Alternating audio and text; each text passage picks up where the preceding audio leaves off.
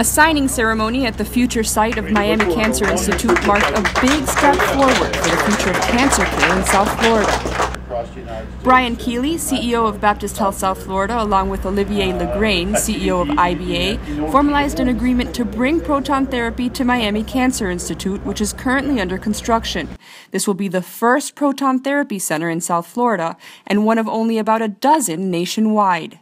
It'll be a world-class destination cancer center with the best doctors, best technology, and uh, the, the, the best people that we can get.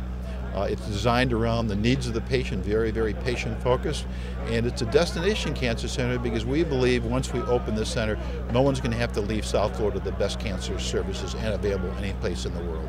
Proton therapy can change really the, the, the, the care of uh, about 20% of the radiation therapy patient. It can change the course of treatment, it can have a better output for, for the patient, it can dramatically improve the, the quality of life of the patient during treatment. Miami Cancer Institute, which is expected to be completed in late 2016, will combine state of the art cancer care and research under one roof.